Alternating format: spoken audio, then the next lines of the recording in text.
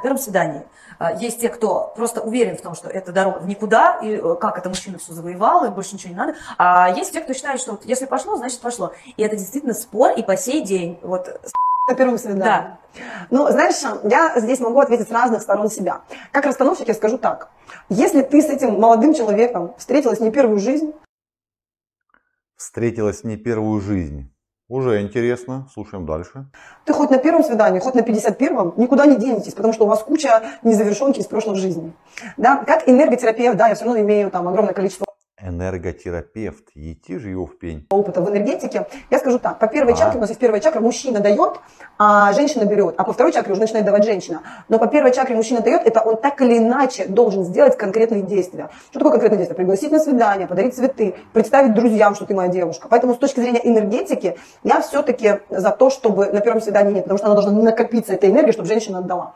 А, поэтому здесь нет однозначного ответа. Есть единственный ответ, э, я бы смотрела в свою собственную ценность. Если вы занимаетесь на первом свидании, при этом вы не теряете свою ценность, тогда делайте, что хотите. А, просто бывает очень часто так, что девушки, переспав на первом свидании, уже мысленно э, через одну секунду выходят... цель на фото. Да-да-да, уже у них фото, их куклу уже выбирают, знаешь, на, на автомобиль. Да, вот э, свидание скорее отдалит от автомобиля и куклы.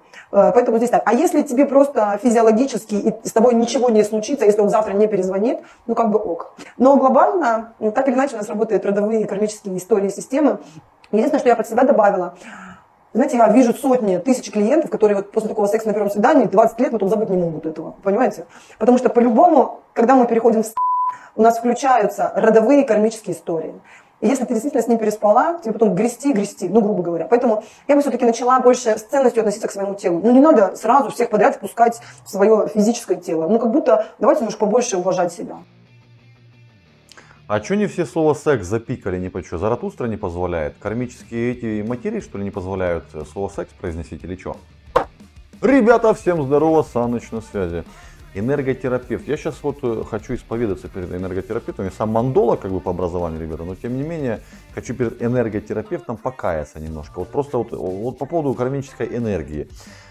Знаете, на, на днях попытался одарить одну чаечку кармической энергией. Ребята, знаете, как это сделать? На, на, накануне вечером наелся горохового супа.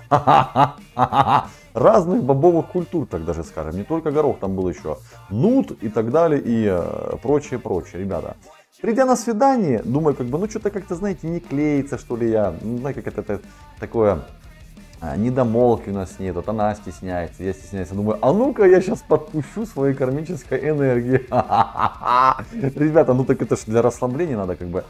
Знаете, а, во-первых, немножко опростоволосился, потому что, ну, а, думал так, знаете, четко, аккуратно, но получилось немножко с подливой, ребята. Ну, ну, ну, запах, конечно, был не тот э, энергии, ребят. Ну, печально, конечно, все получилось. Отсюда вопрос, а как теперь бороться с оладиками на трусах, а, с коричневыми? Э, товарищ энерготерапевт, э, пожалуйста, извините за мое откровение, но тем не менее, как бы мне что делать-то? Товарищ энерготерапевт, посоветуйте, пожалуйста, как бы, и как мне догнать чаечку, которая съебалась прямо через 2 секунды, которая это все увидела. Советуйте, я открыт э, к обучению.